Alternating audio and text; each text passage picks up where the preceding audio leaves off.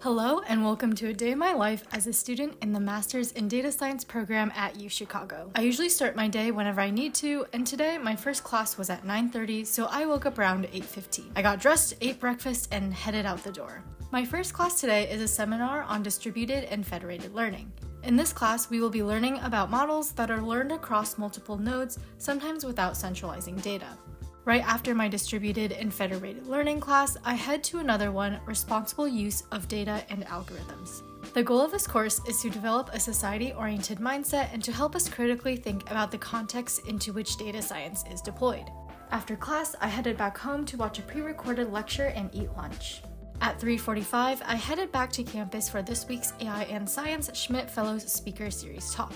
This series features researchers that are routinely using AI tools and machine learning to design and conduct experiments in their specific field.